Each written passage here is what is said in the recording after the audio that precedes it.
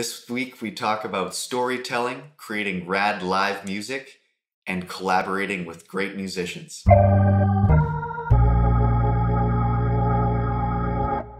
Hi, thanks for checking out this week's musician interview. I'm glad to introduce Maria Jimenez, uh, our guest today. Thanks, Maria, for coming out. Thank you for having me. Yeah, and right after the uh, the Christmas season, so you know, hopefully you're rested up a little bit. You know, had some turkey dinner. Yeah. yeah? Yes. awesome. So yeah, Maria, she's a uh, multi instrumentalist, a great jazz vocalist, and uh, she's going to McGill right now for classical and jazz. Is that right, Maria? Yeah, for uh, classical composition and then for jazz voice. Nice. Oh man. So what what is your main instrument? Is it voice or uh, uh, you were mentioning uh, before a little bit? Do you play piano and trumpet? Uh, do you want to get into that a little bit? Yeah, I would say uh, my main instruments are piano and um, for sure jazz voice, and I've and just voice in general, like all different types of genres, um, because I love expressing myself with, you know, my voice and just I think it's a great instrument. So I've always, ever since I was a little girl, I've always been singing. Nice. Yeah, yeah.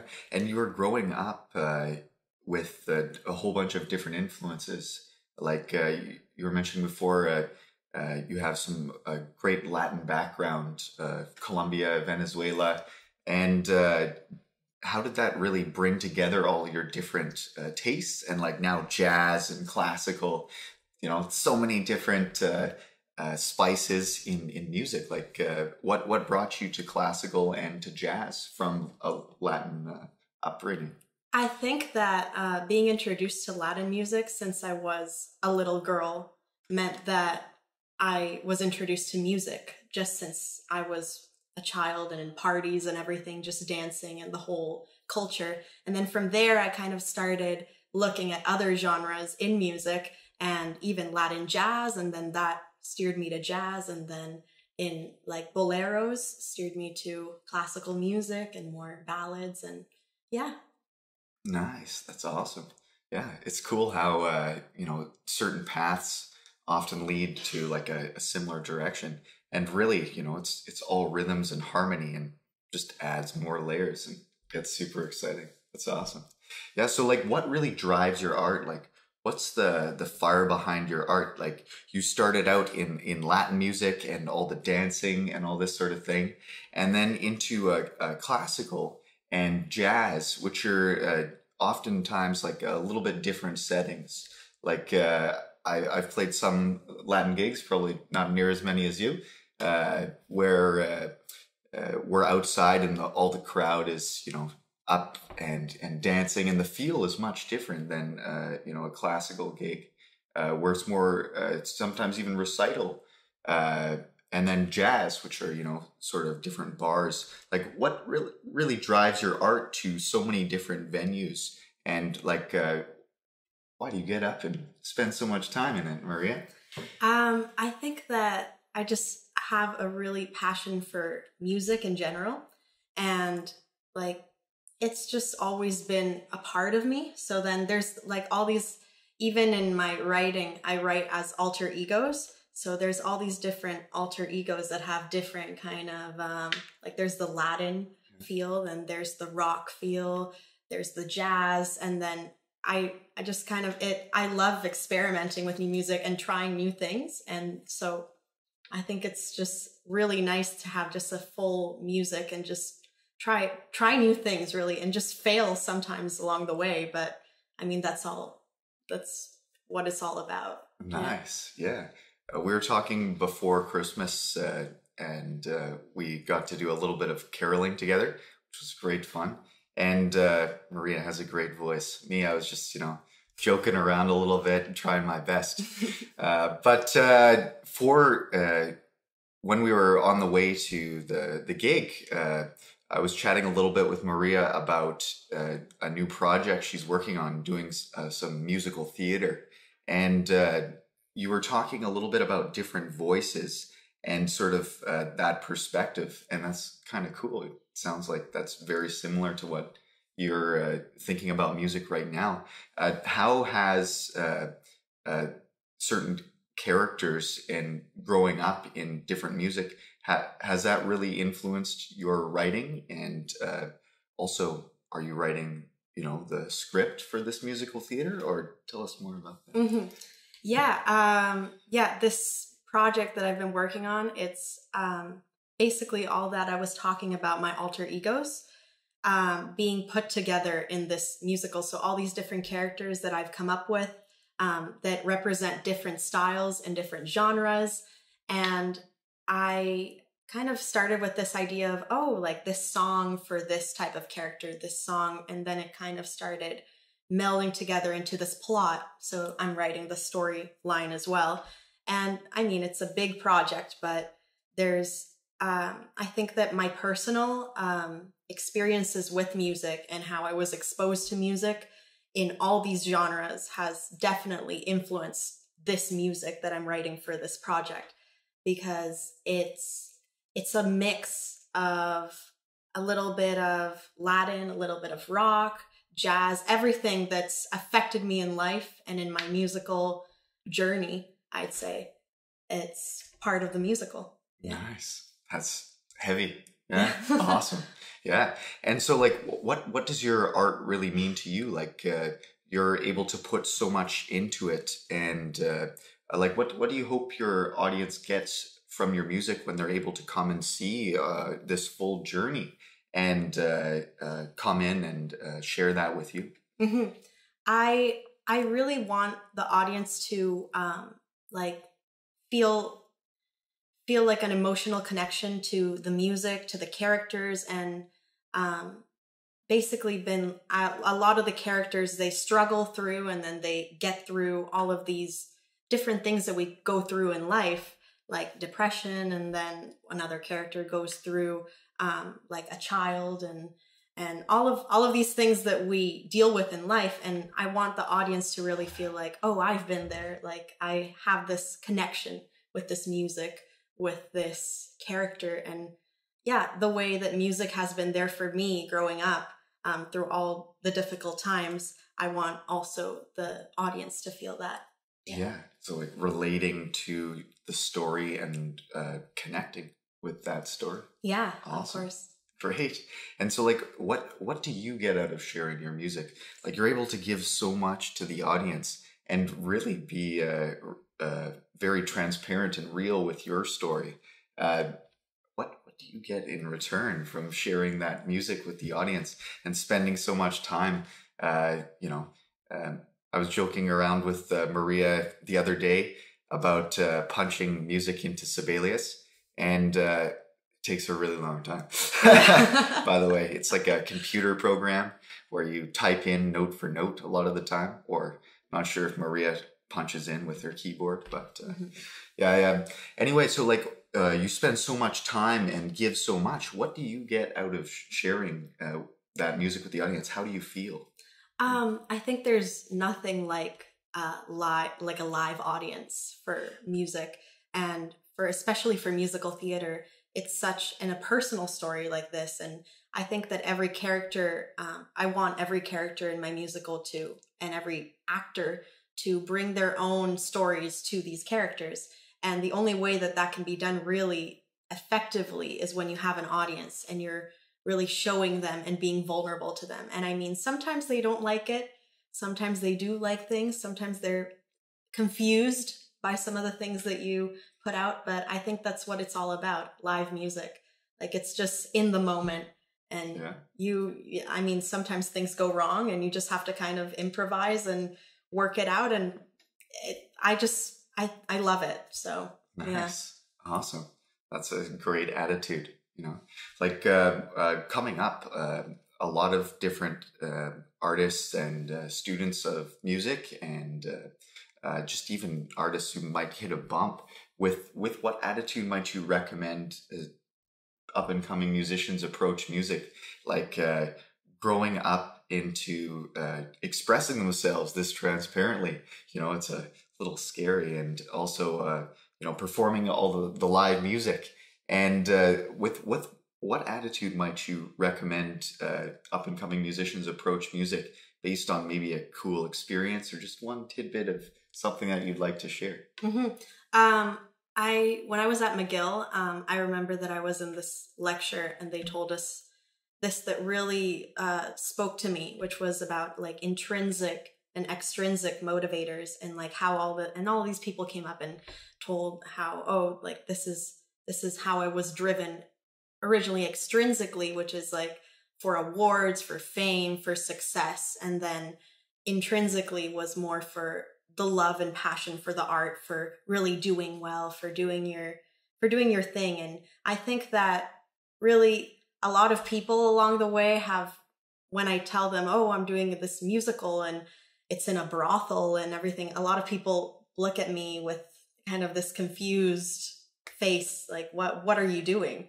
But I think that it those people who judge you and those people who don't like what you're putting out into the world, that should motivate you to just you're doing something different. You're doing something creative and just when you find ideas that really speak to you and and per, don't be afraid to get personal, I would say. And don't be afraid because most of the like when I was um growing up, the first song I wrote was about this breakup. And I thought it was just this angsty teen song that was just really stupid. And then I performed it for someone, um, Clyde Mitchell, uh, Symphonia director here, and he like really was emotionally moved by this song. And that really motivated me to be more personal in my music because I mean, you're the only one who has your story, so why not put it out into the world? Cool. Yeah, heavy. the, yeah, that's I, I love that. Yeah, uh, really connecting and sharing something transparent, and uh, you know, being so real about it that other people are like, "Wow, you know, I can actually relate to that." You know, that's not my story, but uh, maybe I feel okay with my story now. Mm-hmm. Yeah. Yeah. yeah, yeah, and like uh, you're you're able to share so much in your uh, from your story, and uh, sounds like you're writing music uh, uh, in uh, before university as well, and you're now going to McGill, and you're going into your halfway through your second year. Is yeah, right? going into second year. Yeah, cool. And so, like for for going into McGill, like, are have you found that it has really supported your songwriting. And uh, uh, do you want to tell us a little bit about McGill and uh, you know get the inside scoop of how it is there now?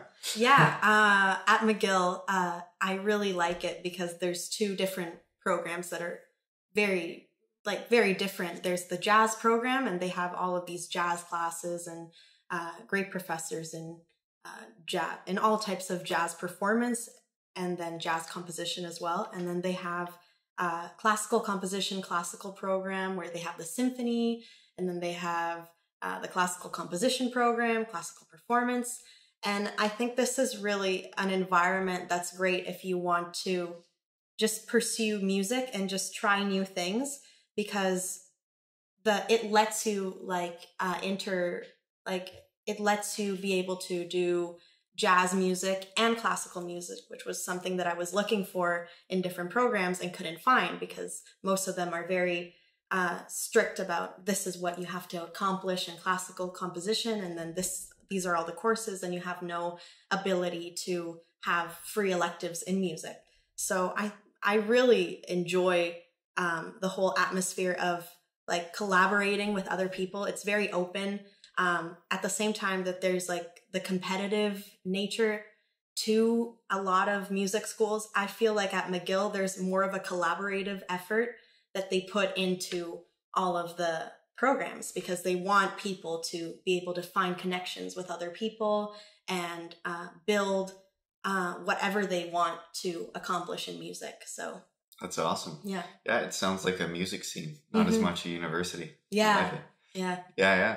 That's that's really cool because yeah, uh, when I left university, uh, I had a, a different experience. Uh, I, I learned a ton about the technical aspect and about really growing, but I, I found that uh, uh, at least where I was at and uh, you know, the skill level I was at when I left, I was I was okay, you know, but I think I improved a lot after I left, actually. hmm And uh, like really, the the biggest thing that I've I found learning music and uh, growing my own experience in music is creating those projects and creating those collaborations. Hmm and then all that extra technical music theory and all that sort of stuff is just like the, the t- icing on the cake you know so that's that's really exciting that you're able to connect with all these different musicians and such a wide range you have all the classical composition and uh, also the the jazz voice and then now you're doing this musical theater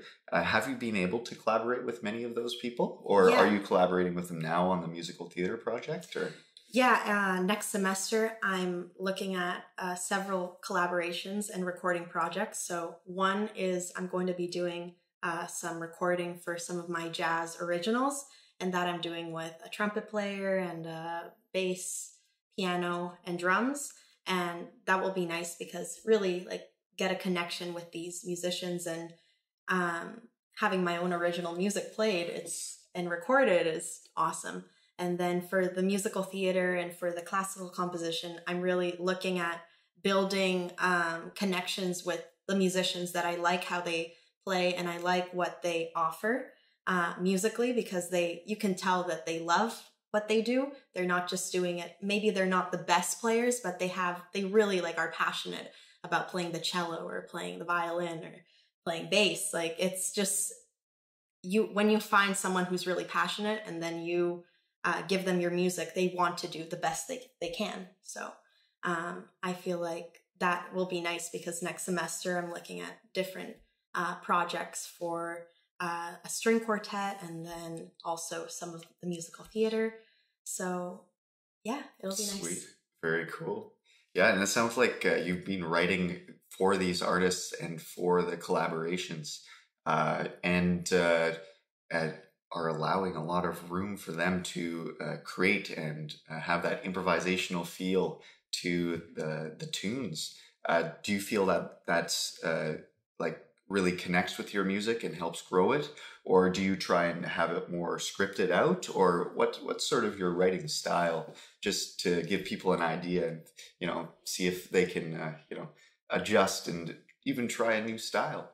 So, Mhm. what sort of style would you say, like more improvisational or scripted, or a little bit of both? But I would say that a little bit of both. Um, I try to have a clear uh, vision of what I want or what the story that I want to um, produce what the music is, and then through that, I I tell I work with the performers and I tell them kind of what I want to achieve, and then what they can offer me, like oh, like different. So I really love working with performers because they can offer you different ideas for oh well you can actually do this and it'll sound really cool for the effect that you want to give and then when you work with them um, a lot of it is and at the end scripted but a lot of it was kind of in the moment improvised. And definitely in jazz with the jazz and with all that Im- improvising element um, i definitely if uh, perform i let them i let like a lot of things open to performers